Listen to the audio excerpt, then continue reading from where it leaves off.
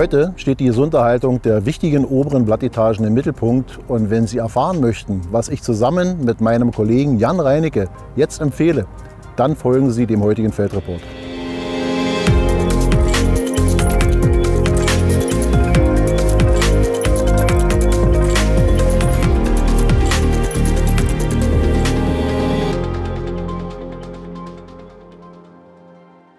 In vielen Landesteilen zeigen sich aufgrund der hohen Temperatursummen die Getreidebestände mit einem deutlichen Wachstumsvorsprung gegenüber dem langjährigen Mittel.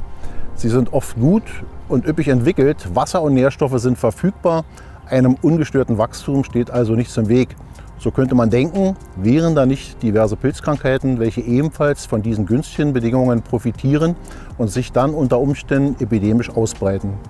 Wir sprachen vor kurzem bereits über T1-Fungizide. Hier waren Unix Pro und auch Kajak als Grundlage unserer Antwort auf frühe Halmbasis- und Blattkrankheiten. Heute steht die Gesunderhaltung der genauso wichtigen oberen Blattetagen im Mittelpunkt.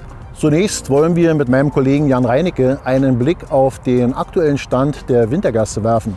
Jan, wie sieht es im Nordwesten Deutschlands aus? Hallo Uwe, seit dem letzten Feldreport ist das Getreide enorm gewachsen. Nach regional immer wieder Niederschlägen und aktuell kühlerer Witterung haben sich die früh gedrillten Bestände gut entwickelt.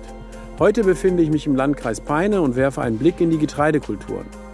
Insbesondere die Wintergerste ist in der Vegetation deutlich voraus und auf den ersten Flächen befinden wir uns im Stadium EC 49, dem Granspitzen. Hier müssen jetzt die Maßnahmen zur Wuchsregulierung abgeschlossen werden. Der starke Ausgangsbefall mit Blattkrankheiten wie Zwergrost und Netzflecken wurde in der T1-Maßnahme vorerst gestoppt. Nun gilt es, das Hauptaugenmerk auf die Abschlussmaßnahme zu legen und an dieser Stelle tritt die Krankheit Ramularia in den Fokus.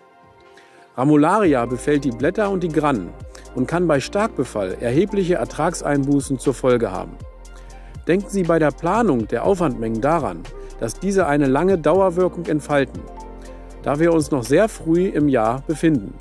Wie Sie jetzt richtig in der Gerste vorgehen, verrät Ihnen mein Kollege Uwe Schmidt. Uwe, damit zurück zu dir. Ja, Jan, es ist wie von dir beschrieben. Genau darum gibt es schon jetzt viele Anfragen zur fungiziden Abschlussbehandlung in der Gerste. Breiten und vor allem Dauerwirkung sind in diesem Frühjahr besonders gefragt und robuste Aufwandmengen sind wichtig für den Erfolg. Eine besondere Rolle spielen unter diesen Bedingungen die Carboxamid-Fungizide. Elatus era als Vertreter dieser Klasse kommt mit 1,0 Liter Hektar zum Einsatz und bekämpft breit und lang Rhynchosporium, Netzflecken, Zwergrost und Ramularia. In Ramularia-Schwerpunktgebieten, wie von dir beschrieben, ist der Zusatz von Vollpan die perfekte Ergänzung. Hier empfehlen wir Elatus era Vollpan mit 1,0 plus 1,5 Liter je Hektar. So viel zur Wintergerste. Jan, was kannst du uns zum aktuellen Stand der Weizenbestände berichten? Ja, die Situation im Weizen ist weiterhin sehr differenziert. Frühe Bestände erreichen EC 32 und späte Bestände sind noch deutlich zurück in EC 2930. Maßnahmen zur Wuchsregulierung und frühe Fungizide wurden vielerorts gefahren, um den starken Ausgangsbefall mit Gelbrost, teilweise Braunrost und Septoria tritici einzudämmen. Circa 14 Tage nach dieser Maßnahme ist der Weizen wieder ungeschützt. Nun gilt es, das vorletzte Blatt und das Fahnenblatt mit einer Maßnahme in EC 39 gesund zu erhalten. Achten Sie in Ihren Beständen je nach Sorte auf Gelbrost und Braunrost, die sich innerhalb kürzester Zeit entwickeln und nun die ertragsrelevanten Blätter schädigen.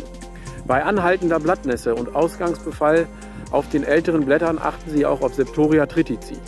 Auch der frühe Roggen hat sich gut entwickelt und schiebt das Farnblatt. Wir finden immer wieder Braunrost auf unbehandelten Flächen.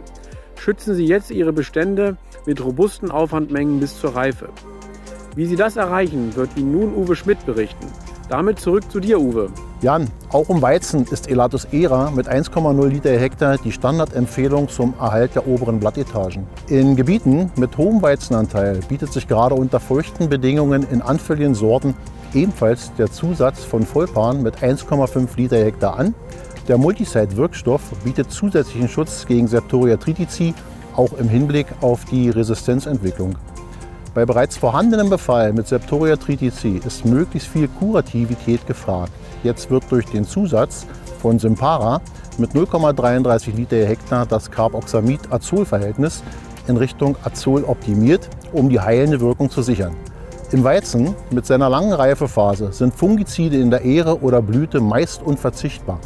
Amister Gold mit 1,0 Liter Hektar sichert vor Rosten, Septoria-Arten und Schwärzepilzen. Gretec mit 0,5 Liter Hektar ist eine weitere Möglichkeit. Es ist ein flexibler Mischpartner gegen die genannten Abreifekrankheiten und kann bei Bedarf um einen Fusariumpartner ergänzt und komplettiert werden. Sind wir auf den etwas leichteren D-Standorten, wird Winterrocken oder auch Wintertritikale im Anbau favorisiert.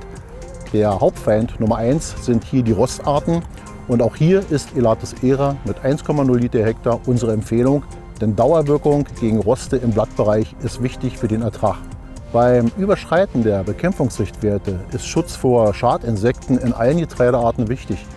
Ob Getreidehähnchen im Blattbereich oder Blattläuse in der Ähre, Karate Zeon mit seiner Kapseltechnologie bietet mit 75 ml Hektar Schutz vor beißenden und saugenden Insekten. Kommen die Eisfällchen noch? Auch Kälte ist ein Stressfaktor. Biostimulantien können abiotischen Stress für die Pflanzen minimieren. Megafol mit 2,0 Liter Hektar ist jetzt nach EU-Düngeproduktverordnung CE geprüft und in diesem Bereich mit seiner breiten Mischbarkeit unsere Empfehlung. In puncto Applikation kann man viel richtig, aber auch viel falsch machen. Cropwise liefert Infos zu Abstandsauflagen, gibt Empfehlungen zum Spritzwetter, zur Düsenwahl und weiteren Einstellungen wie Druck und Geschwindigkeit und ist damit die ideale App rund um die Applikation.